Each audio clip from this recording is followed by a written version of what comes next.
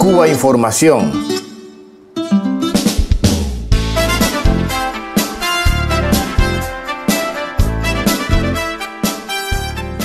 Ahora sí, la historia tendrá que contar con los pobres de América, con los explotados y vilipendiados de América Latina que han decidido empezar a escribir ellos mismos para siempre su historia.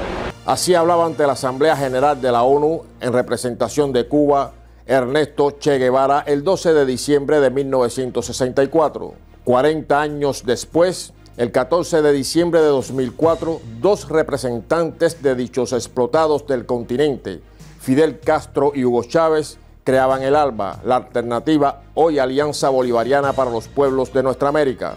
En ocho años, el ALBA suma ya ocho países, Cuba, Venezuela, Bolivia, Ecuador, Nicaragua, Santa Lucía, Dominica y Antigua y Barbuda. Y serían nueve si un golpe de Estado en Honduras no hubiese derrocado al gobierno constitucional de Manuel Zelaya. Gracias al ALBA, decenas de millones de personas en el continente han conocido por primera vez un médico, han aprendido a leer y escribir, han tenido un servicio eléctrico estable o han podido enfrentar exitosamente problemas de discapacidad. Si Latinoamérica vive hoy pendiente de la salud del presidente Chávez, es sobre todo porque él, junto a Fidel y otros líderes, han convertido en realidad lo proclamado por el Che en la ONU. El ALBA es una ola que irá creciendo, como anticipó el guerrillero cubano-argentino.